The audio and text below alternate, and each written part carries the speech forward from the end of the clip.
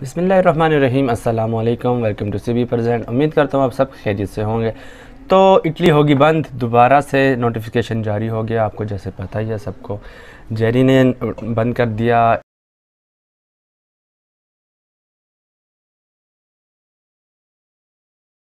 Italy का दोबारा से चीज़ें। अब मैं आपको बताता हूँ, बंद क्यों हो रही हैं।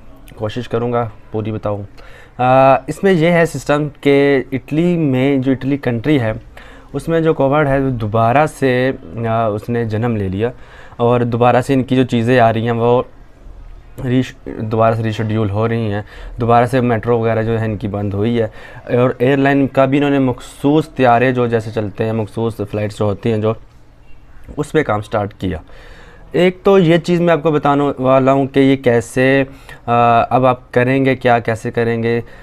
वी एफ़ एस अपॉइंटमेंट लेती है उसके बाद जाके आपकी फ़ाइल वगैरह जमा कर दीजिए जैसे आपको सबको पता ही है।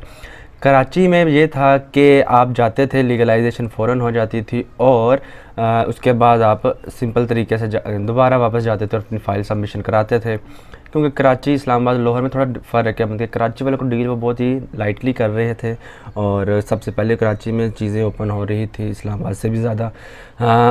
इसके साथ अगर मैं आपको बताना चाहूँ कि जो हेल्पलाइन है आ, वो भी वी एफ़ एस और जेरी ने मिल के जो आपको एक हेल्पलाइन दी है कि आप इस पर कॉल करें और आपको दोबारा से अपॉइंटमेंट के लिए जो है अरेंज कर सकें चीज़ें।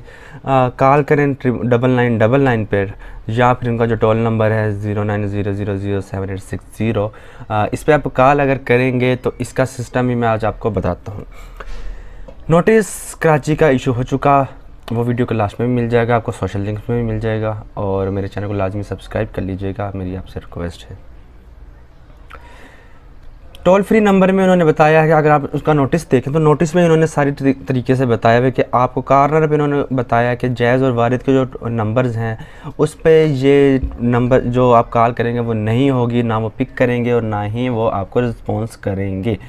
एक तो ये चीज़ होगी और दूसरी चीज़ अगर मैं आपको बताऊँ कि जो बाकी जो नंबर नंबर रह जाते हैं, जैसे दो सिमें हैं हमारे पास, सोंग, यूफोन और टेलीनोर।